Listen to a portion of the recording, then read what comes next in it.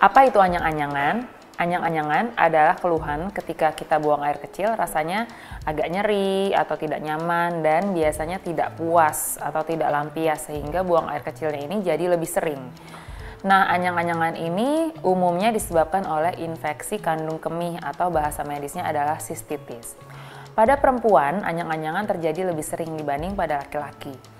Kenapa? Karena saluran kencing yang paling ujung namanya uretra pada perempuan itu lebih pendek daripada pada laki-laki. Sehingga kalau ada infeksi di daerah situ, infeksinya lebih cepat naik. Dalam hal ini adalah ke kandung kemih dan menyebabkan keluhan anyang-anyangan. Nah, apa yang harus dilakukan kalau terjadi anyang-anyangan? Penting diketahui bahwa anyang-anyangan ini merupakan keluhan yang cukup umum, cukup sering terjadi. Dan kita bisa mencoba mengatasi dulu ke rumah sebelum dibawa ke dokter.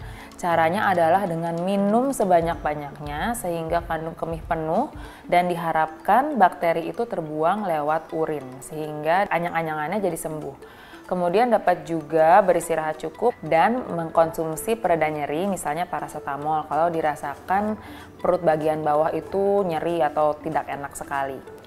Tapi pada kondisi tertentu harus segera dibawa ke dokter, misalnya pada ibu hamil, dikhawatirkan dapat mengganggu kesehatan janin.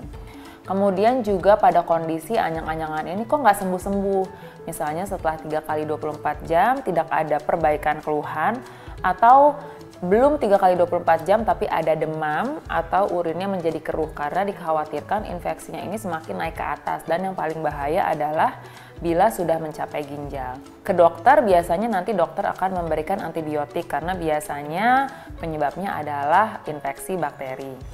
Itu cara mengatasinya. Lalu bagaimana cara mencegahnya?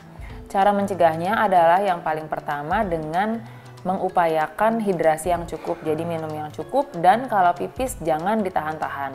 Karena kalau ditahan-tahan, urin yang stasis biasanya akan menjadi media yang baik untuk pertumbuhan bakteri sehingga menyebabkan infeksi tadi. Kemudian dengan menjaga hygiene saluran reproduksi dan saluran kemih kita, yaitu dengan membersihkan setelah berkemih. Caranya adalah dari arahnya dari depan ke belakang, bukan sebaliknya. Karena kalau sebaliknya, nanti bakteri dari anus dapat mengkontaminasi area saluran kencing kita. Anyang-anyangan ini tidak hanya terjadi pada dewasa saja loh, anyang-anyangan dapat juga terjadi pada anak-anak. Dan bahkan pada anak-anak biasanya keluhannya menjadi lebih serius, terutama misalnya kalau anak-anaknya ini belum lancar bicara atau lagi potty training sehingga cenderung untuk menahan-nahan pipis. Dan biasanya kalau pada anak-anak infeksinya sudah lebih lanjut ke atas Eh, sehingga disertai demam. Jadi kalau anak mengalami demam tapi tidak ada keluhan lain, nggak ada batuk pilek, nggak ada muntah atau diare, biasanya dokter akan mencurigai paling pertama adalah infeksi saluran kemih karena itu paling sering terjadi. Sehingga kita juga harus lebih memperhatikan anak untuk minum yang cukup dan tidak menahan-nahan buang air kecil saat ada sensasi ingin buang air kecil.